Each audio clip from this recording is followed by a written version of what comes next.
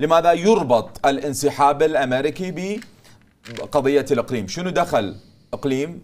شيء كتب بالدستور العراقي بقضية استحقاق وطني. كل العراقيين اليوم يفرحون بالانسحاب الأمريكي وأن يكون العراق بلد ذو سيادة كاملة.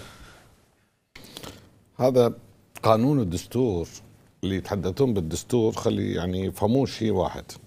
إنه عدم تطبيق الدستور هو تمزيق للبلد هو تدمير للبلد. فقانون الأقاليم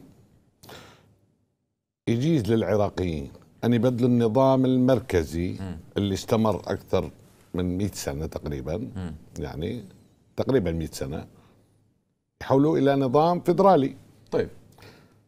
حتى لا يتسلط أحد بعد على الحكم ويقصي الآخرين مثل ما صار لنا هسه مثلا 20 سنة إحنا تحت حكم أحزاب طائفية. أقصت المكونات واستهدفت المكونات والقرار السياسي بيده والقرار العسكري بيده.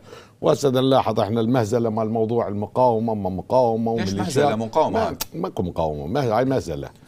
هاي مهزلة مو مقاومة. عمل المقاومة مهزلة؟ إي هاي, مو مقاومة هاي مهزلة. ماكو مقاومة تسوي قواعد اشتباك ويا المحتل. ماكو آه، مقاومة توقف المقاومة شو تسوي للمحتل؟ شوف يعني اللي حدثني اللي يتحدثون بموضوع المقاومة أني أضحك.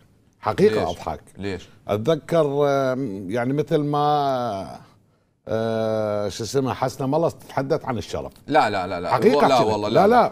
التوصيف قاسي. لا لا هذا هذا هاي توصيف قاسي أنت تتحمله. هاي الح... أنا أنا احكي ما أنت تحكي الحق رد تفضل. فالمهم هذا موضوع المقاومة يضرب لي صاروخ هنا ودا ينتظرون رد الفعل الأمريكي وهاي رسالة من إيران وهاي رسالة مدري مين ولو تعطونا مناصب لو نهدد المطارات لو نضرب المطارات لو نضرب هذه هذه مهزلة هاي مو مقاومة م. مقاومة انتهت بالعراق وكانت المقاومة سنية والكل تعرف هذا الموضوع واليوم السنة وعوا وفهموا اللعبة م. ولا حد يتصور إنه السنة اليوم أعداء للإدارة أو للولايات المتحدة الأمريكية. لا ولا خالو بن أخت. ولا الولايات المتحدة الأمريكية أعداء لا للسنه ولا للشيعة ولا للكرد ولا لأي طرف. خلاف الولايات المتحدة اليوم وهي الشيعيه السياسيه فقط. تعتبر جحود من الشيعية السياسية اللي مكنتهم من السلطة ومكنتهم من الحكم تعتبرهم جاحدين بحقها. لهذا لاحظ أنت القرار الأمريكي اليوم هو قرار ديمقراطي بتأديب الإطار. قرار؟ أما قرار تأديب الإطار. تأديب قرار الإطار؟ نعم هذا الإطار التنسيقي غير هذا مؤدب؟ هذا قرار الديمقراطيين الإطار التنسيقي غير مؤدب؟ أكمل. بس خلينا نكمل أنت ما أعرف ليش تستعجل على رزقك. ما أستعجل.